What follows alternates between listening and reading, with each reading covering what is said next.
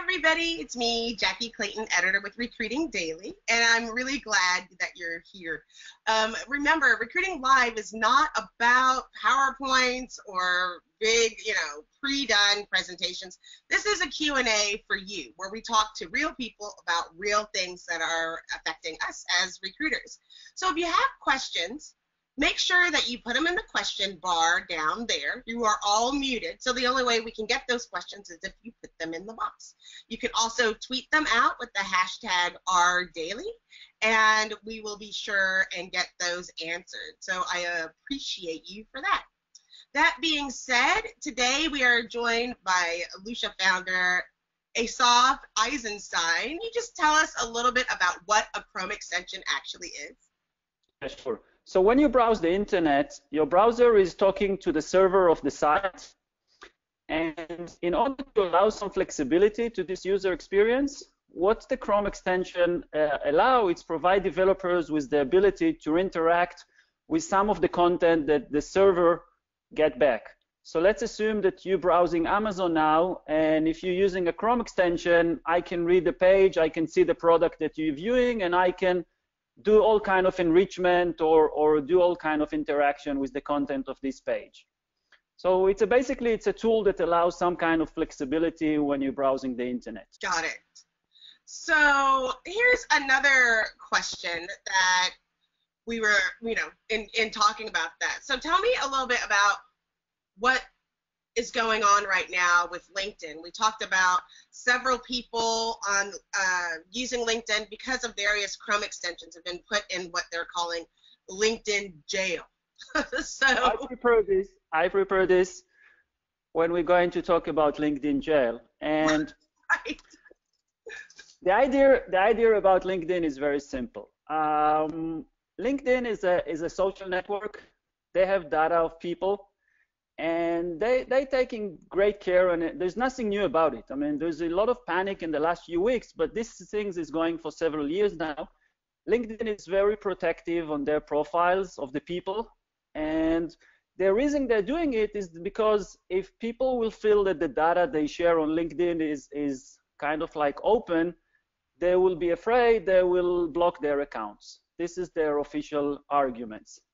And we need to distinction between between the, the data that it's on public places that like on pages like when you browse incognito and it's outside on on google to the the content that you see that you, while you're browsing and and when you logged in. Because when you logged in you see information that it's supposed to be open only to members which is more sensitive which is more private. And it started by, I mean, there's nothing new about it. I mean, LinkedIn is blocking accounts for several years by now. And what their main concern is that plugin are taking data from LinkedIn, saving it to the plugin company server, and then do all kind of stuff with it. I mean, I mean, the, the worst scenario from their point of view, if I understand right, is let's say that the Chrome extension is taking data from the from the, the LinkedIn profiles and then build a search engine for profiles, which is kind of competing with their service. Um, this is a big no-no. Another thing is that Chrome extension that without your uh, without you knowing about it, loading a lot of pages from LinkedIn. When you're browsing, you're thinking that you're viewing only one profile. but The Chrome extension is actually um, loading tens of or like hundreds of pages sucking this data and save it to, to the, the plugin servers without you knowing about it. Right. So this is um, so this is another another issue that that's happening. Now another thing to say about this is that there's nothing new. I mean this thing is going on. I mean for more than three four years. Uh, LinkedIn closed their public API about a year ago. Uh, they were sending cease and desist letters to all kind of companies in the last two three years.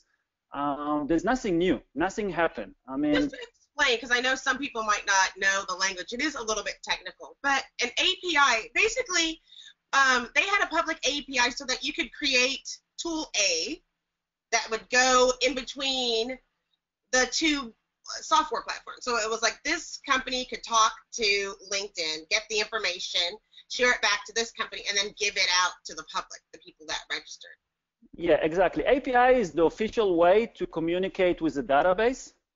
When I offer an API to Lusha, uh, I allow you as a developer to communicate with our data and, and interact with it and, and get the information that you're interested with.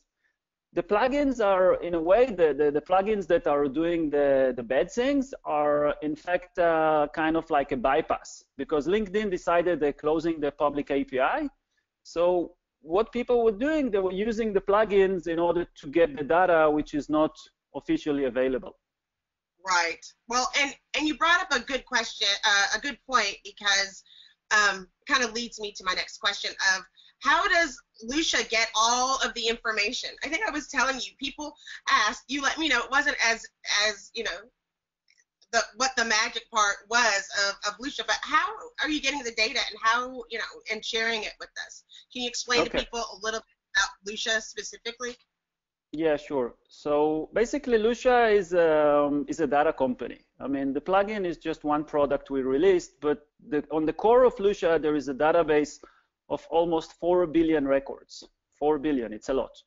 Yeah, and it's mostly stay with me, uh, and it's mostly personal phone numbers and personal emails uh, we do have some work emails, but this is not our focus. I mean, there's tons of other services that provide work emails. Our focus is with direct dials. And actually, I mean, I, people ask me this question like 10 times a day. Uh, but the magic of Lusha is not the database. Buying database from legitimate business partner is, is, is the easy part. I mean, there's tons of, of, of companies that sell legitimate data from all kind of places. I mean, yellow pages companies, uh, public databases. You just need to know how to buy it. This is not where the magic is. The magic is once you buy this data, how you process it and how you search it. Because when you have a James Smith in London, New York, or LA, and there's 5,000, how do you make sure that this James Smith that work for Walmart is exactly the person you're looking for? So this is where the magic of Lusha is, is the, the search algorithm uh, and it's also about uh, finding enough data points to work with and to verify it and do it in, in split of a second. So the data is, is, is rather straightforward. It's more about what you do with the data. This now, is what's... Uh, I, I have to interrupt and get here because um, everyone was asking this question. Lee asked, Debbie uh, Showalter asked, Steve asked, Christy Lee, even Recruiting Animal, hi Animal, asked. They were all saying, okay, we love the Lusha tool. Are we going to go to jail? Are we going all going to be going to LinkedIn jail? Okay. So this is this is a great question, and let me say a few things for the record about the LinkedIn jail about Lusha. First of all, and we put it on our privacy policy. We don't take data from LinkedIn.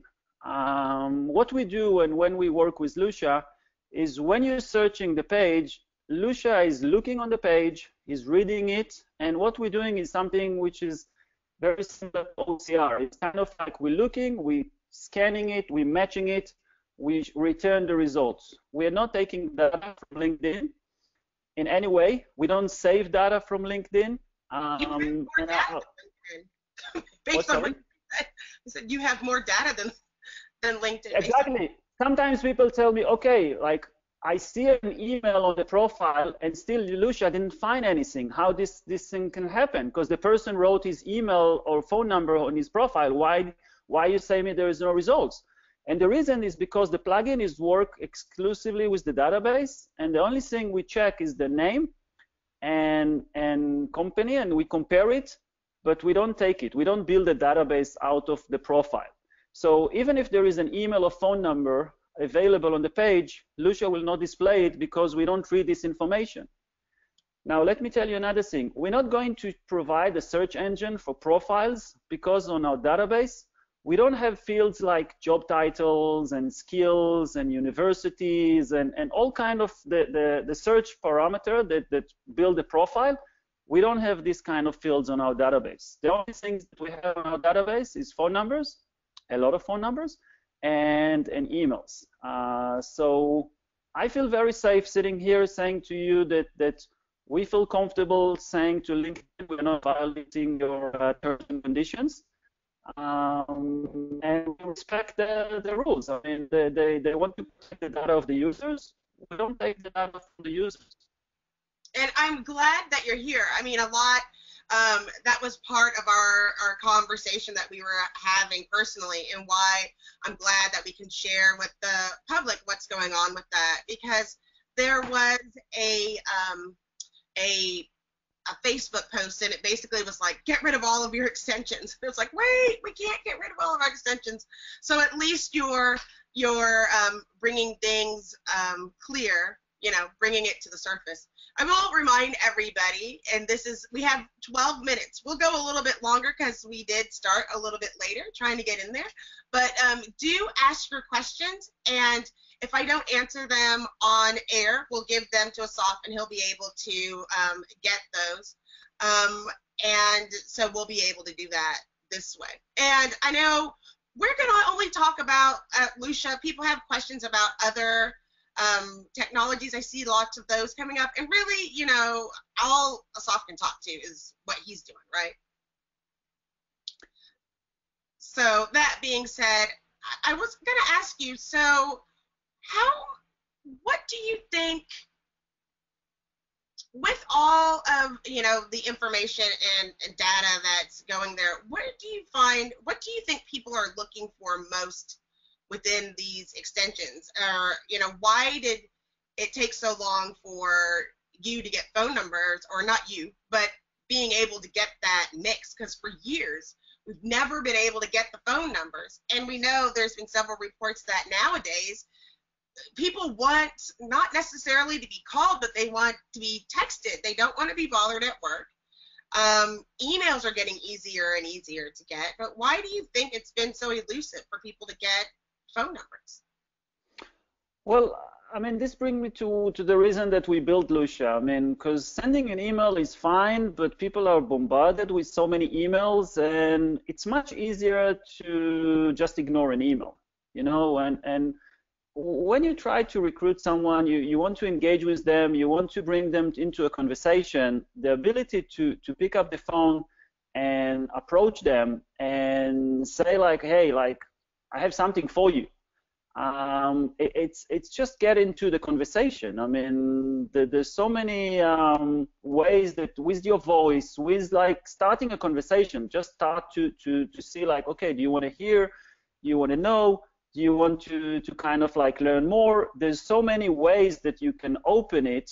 And yet, I mean, I mean, I can tell you that I can hear from, from our customers, and we have more than 30,000 now, that those that do phone, they use the phone, they do much, much more money. I mean, their KPIs are much stronger. They're pushing much more candidates into the funnels just because they're hitting the phone. And, and some people feel like they fear of the, the fear of rejection or whatever the reason that drive them from away from calling, it's actually is harming their performance because it's it's much easier just to hit emails, sending loads of automatic emails or tell yourself that you personalize those emails and and and your hit rate is great but I mean I see people that make 50 60 calls a day and most of the people just want a conversation you know? If you get them on a good time and, and they're happy to go into it and, and you sounds good and you know their industry and you know what to talk about they will go into the conversation. And sometimes they will not be interested but they will give you the name or number of a person they know who might be a good fit. So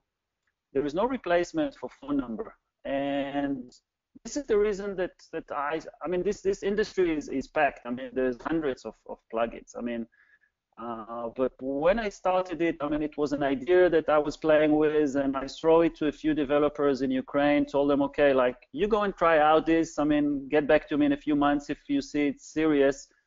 But I mean, once I saw the numbers, I said, okay, this idea is is working, and uh, and ever since, it's it's it's working well. It it it has changed from the beginning. Obviously, Lusha got a new look. Lusha had a little uh, a little surgery so yeah, yeah.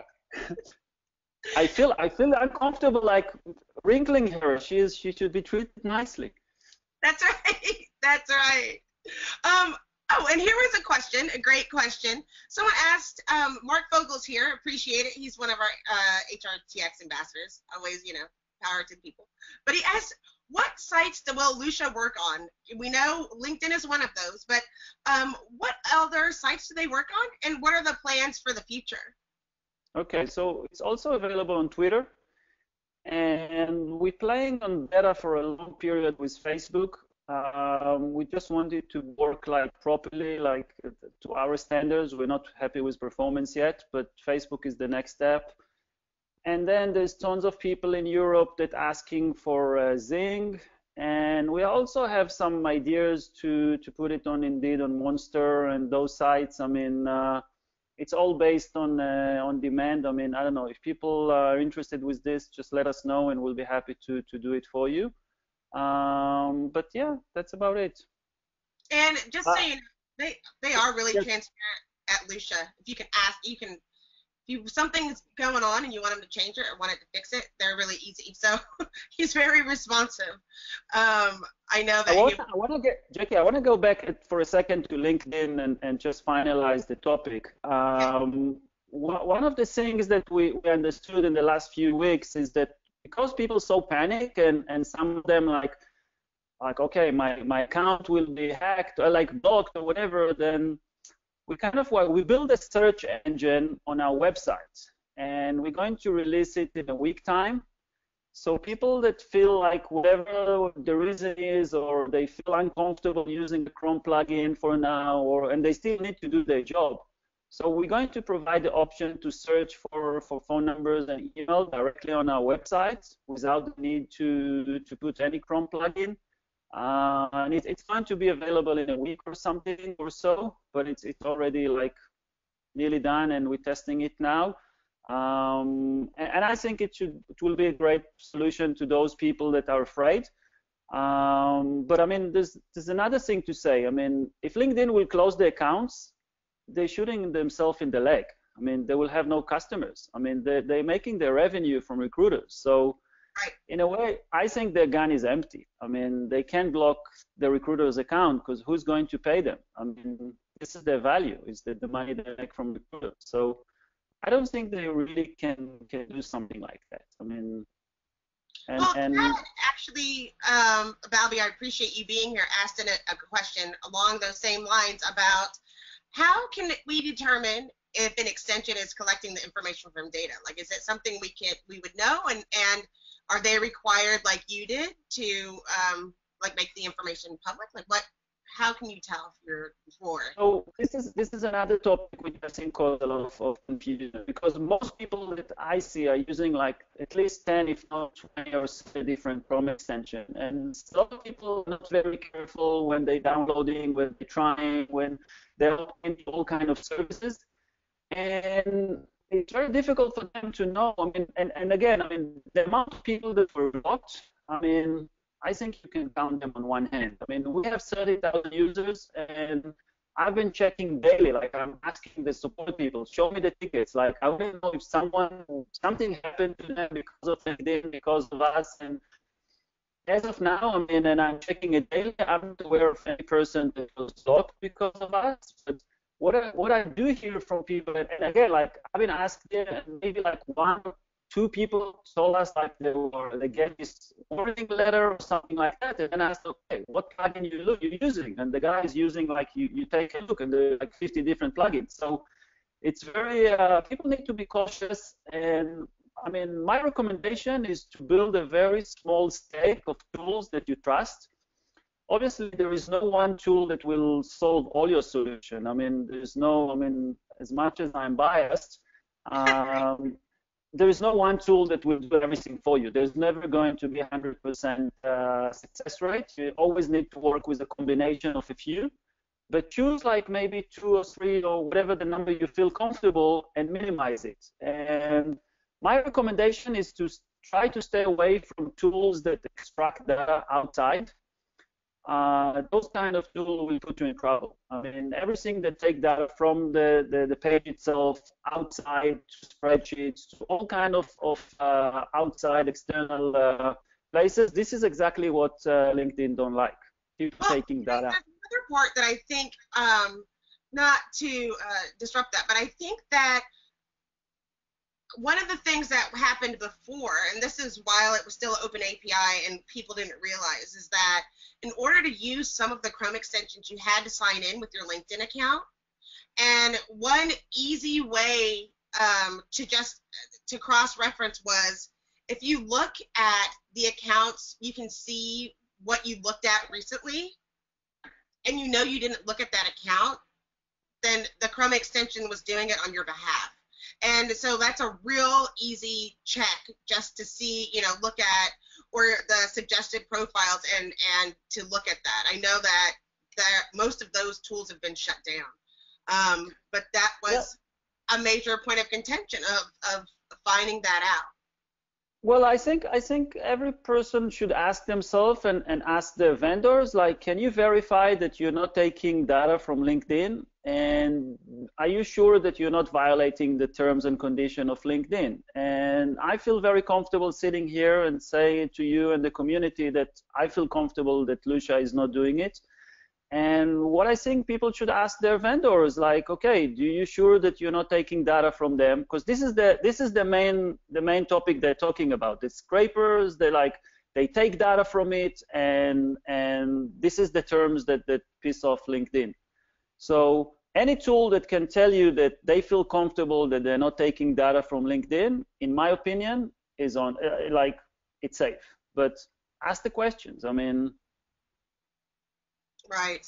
Um, I can tell only only for ourselves. Like I'm not. I don't know what others are doing, but I mean, I feel very comfortable about what we're doing. Well, I've been looking. Dan Lux. I'm sorry, Laux. He taught me how to say his name last week. Dan Laux asked a question. Is there anything being worked on right now Lusha, like any new functionality? I know you're looking at some of the other tools to share, but um, you want to share some of the functionality that we can look for? Yeah. So, so first of all, our focus is always on the database. And with the database, we're looking on a few parameters. First of all is the hit rate, is how many times we're going to show you results. And I mean, at the moment, it's something around 60 to 70% hit rate uh, when you search people. So three or seven times out of 10, and I'm talking like globally, we're going to return results. And those numbers are going up when you look on, on senior people, C-level, technical people, so it can go up like 70, 80%. And if you look for entry level or blue collar or stuff like that, it go down. So Lusha is not the tool for truck drivers or I don't know people for fast food. But right. um, so so we have the, the hit rate, and another parameter is the is data integrity. It's also important. So if you want to increase your hit rate, you don't want to damage your uh, integrity. And then this is this is a major focus all the time, and the product is keep evolving, and, and the algorithm and the data, it's a it's a monster. Um, another thing we're working on is the API, and we just released it. And I mean, I, I'm not going to give names here, but there's a lot of tools out there that recruiter are using. Some of them very famous companies that use that Lusha is powering their their contact details, phone numbers, and emails. So they're using our API and they, they make their product better. Uh, obviously, we're not going to say their names, but it's uh, very popular services. And the API is also being used for a lot of other use cases. I mean, I have a few um, RPOs that have like their own database of like half a million candidates, two million candidates. They want to enrich it because they just have the number and phone number uh, the, the, the, emails and they want the phone number. So people use the API for that. Um, and the next, the next major step is that we're working now with Salesforce, and we're about to release a major uh, product like just for Salesforce. is a, It's a native app. It's going to be on the App Exchange, and when people working with their Salesforce, they can enrich data. So this That's is what we yeah, this is what we're working now, and uh, it's a lot of stuff. Yeah. Oh, and we talked a minute. I think didn't you say there was going to be a, a, the ability to use Lusha without without necessarily? Are you launching something with Lusha like in the next week? Yeah, yeah, yeah. Oh, this is this is the search on the site. I mean, yeah, yeah. So this is going to be like from next week. So you can you can start searching people on the website on Lusha without having a Chrome extension at all. This is for the, the, the people that are afraid from the LinkedIn jail. It's for them. Got it. That's good. I'm so glad. Henry Landau asked a question. Thanks for being here, Henry. Um, he was asking if it would be available on Instagram at some point. Have you tried playing around about using Instagram? I don't know too many tools. I don't know. Yeah, I don't know. I mean, there's tons of stuff like before. I think like GitHub is an interesting place. I mean, uh, AngelList. I mean, there's a lot of sites that probably will check before. The only thing is that we need some data to work with, and, and on Instagram sometimes we, I don't know, we'll we'll try it out. Andy G, hi Andy G, said, I like Lusha. Can I ask if they will rethink their stance on not rolling credits over monthly for small recruitment mm-hmm. We might do a lot of research one month and nothing the next month. Yeah, I mean, we, we hear it once in a while, and what we, we try to do with pricing is to be very affordable. Uh, but again, I mean, Lusha is not the cheapest service out there. Mean, but it all go back to what you get, you know. And I have this conversation with people all the time. Is what I mean, the smallest package is just like $79 a month or 25 with an annual contract, and you need to ask yourself what the ROI. I mean, how many people I'm going to place or, or bring to my company as a result from this service, and what's the ROI? if the ROI is not like 100 times or whatever, it's not worth it. Um, and I know there's a lot of other tools there that are for free or whatever, and like I mean, people talk to me about the prices of Hunter or whatever, and it's like we don't compare ourselves to these kind of services. I mean, we look on the tools that the salespeople are using, and, and over there, people pay more a dollar to, to get a contact detail. So we are much less on that. I mean, it's like half of it. So pricing is still fair. The other thing is with the annual contract, it's 40% discount. So if you take the annual plan, it's it's it's very affordable. Well, I had to ask, right? I just had to. Yeah, yeah, I'm sorry. I mean, I will say, and I know we're wrapping up, um, just full transparency. So I have asked several people to um, talk to me about Chrome extensions. Uh, and uh, Assaf was the first one. He jumped right in and it was like, don't be afraid to ask me the tough questions. So I appreciate it. Um, I wasn't trying to make it just like a Lusha commercial, but again, we wanted to find out really how extensions work. I think you did a great job with that. I, I did want to mention next week um, on Recruiting Daily, we did um, have a third party company that actually did kind of a dare to compare about the results. So that's going to be going up on Recruiting Daily next week. Um, and also, we're starting our 12 it's called 12 days of sourcing that's coming up so we want you to sign up for that um, this has been recorded so everyone who's registered is going to get a um, the link that has our beautiful conversation i do want to thank you know assaf for being here and i want to especially thank people who stopped by giselle and robert and andy and debbie it's like romper room we have to go through. Um, as a friendly reminder, next week we're going to have Tim Sackett on next Friday, uh, and that is going to prove to be interesting. He's kind of hard to control. We'll see how it went. Um, do, if you still have questions, you can put them out on Twitter or put them here. I'll make sure that Assaf gets there. And I appreciate you guys for stopping by. Thanks so much. Thank Bye. you, Jackie. Have a great weekend. Bye-bye. Thank you.